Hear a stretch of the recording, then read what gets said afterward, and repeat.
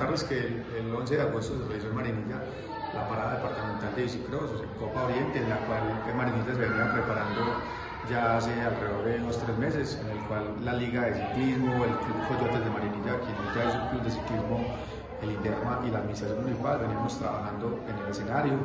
trabajamos fuertemente lo que tiene que ver el partidor, lo que son los peraltes, todo el tema de iluminación y drenaje para que esta válida tuviera un total éxito, lo cual fue una realidad. Ayer las familias llegaron a la unidad, eh, llegaron a la pista de bicicross, encontraron un momento de esparcimiento, los niños realizaron todo lo que son las competencias, terminamos alrededor de las 4 de la tarde con muy buen balance, muchos clubes participaron y pues qué bueno poder seguir trabajando por el bicicross, el Marinilla con los aliados tan importantes como son los clubes y la administración municipal y pues todos los padres que